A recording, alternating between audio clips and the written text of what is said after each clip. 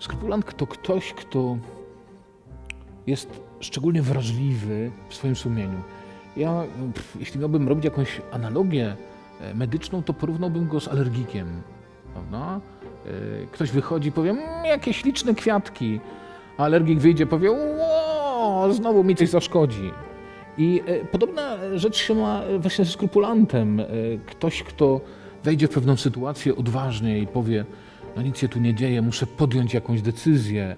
I ona wcale nie musi być zła, no na przykład e, patrzy chłopak na ładną dziewczynę, ona mu się podoba i ma świadomość, że to jeszcze nie jest grzech.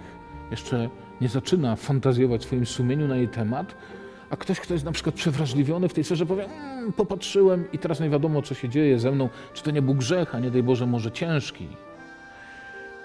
Jest to, skrupulanstwo to poważna choroba sumienia. Ona może mieć bardzo różne przyczyny i generalnie y, jeśli y, bracie, siostro, masz z nią problemy, jeśli czujesz, że przygotowanie do sakramentu pokuty ciągnie się w bardzo długi rytuał, kilkugodzinny, jeżeli wracają ci ciągle wyrzuty i wątpliwości, czy to był grzech, czy nie był grzech, to bardzo cię proszę, znajdź stałego spowiednika. Z nim o tym gadaj, bo to jest jedyna droga, znaleźć stałego spowiednika i słuchać go i krok po kroku iść z nim e, i e, wychodzić z tej trudnej sytuacji.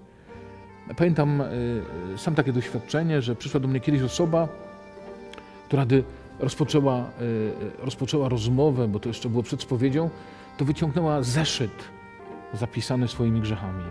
No i żeśmy ustalili, że to, do czego dochodzimy, to, że kiedyś przyjdzie do spowiedzi zapisanym tylko pół stroną swoimi grzechami. No i muszę przyznać, że e, ten penitent popłakał się, gdy rzeczywiście po paru latach przyszedł i miał pół strony zapisanej grzechami, ale to była właśnie spokojna, wytężona praca, naznaczona zaufaniem do, do spowiednika. A więc jeśli masz te problemy, to nie jest koniec świata. E, Myślę, że e, możesz spokojnie próbować się z nich wyrwać.